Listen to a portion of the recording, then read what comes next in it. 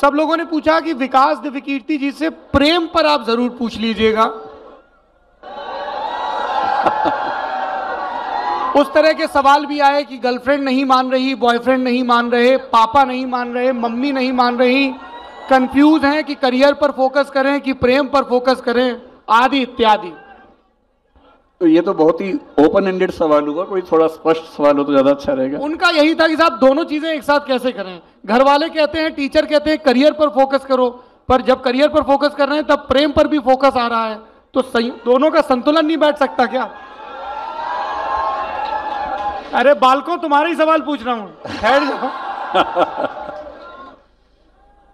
मेरी समझ ये है कि सबसे बड़ा दुर्भाग्य है कि करियर बनाने की उम्र और प्रेम करने की उम्र एक ही होती है।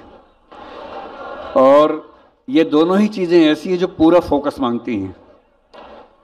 तो ऐसे में आदमी कैसे बैलेंस करे, मूल समस्या तो ये है ही।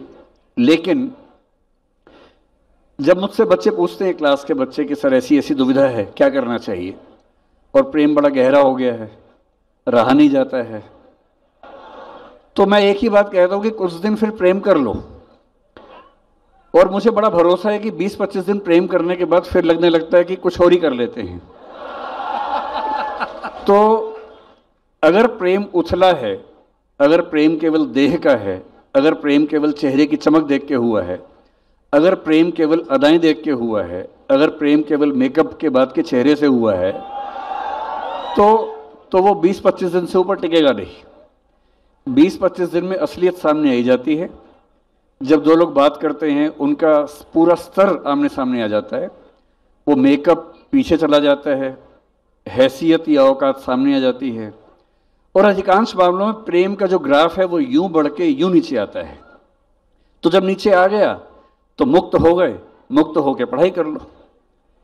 और यदि प्रेम ऐसा मिल गया संयोग से, जो मुक्त करता है, प्रेम में रहकर मुक्त करता है तो वो आपको पढ़ने से रोकेगा नहीं, वो आपकी पढ़ाई में सहायक ही होगा। इसलिए, और मैं अक्सर कहता हूँ कि ज़िंदगी एक ही है। मैं उन बातों में बहुत कम विश्वास रखता हूँ कि बार बार जीवन मिलने वाला है। मैं ये मान के चलता हूँ, मिल जाए तो बढ़िया है, पर मैं ये मान के चलता हूँ कि जीवन एक ही है। एक ही है तो उसी को जीना है, उसी में प्रयोग करने हैं। और प्रयोग करने का मौका आए तो प्रयोग कर लेना चाहिए। बाद में पछताने से अच्छा है कि हमने प्रयोग किया, फेल हो गए, फिर प्रयोग कर लेंगे, कुछ और प्रयोग करेंगे, लेकिन प्रयोग करने से पीछे हटना कायरों की निशानी है। अच्छे जीवन जीने के लिए आपको आगे बढ़ के एक्सपेरिमेंट्स करने ही पड़ेंगे, कोई रास्ता है नहीं। जी। नागरिक को लेकर बहुत सारे सवाल आए।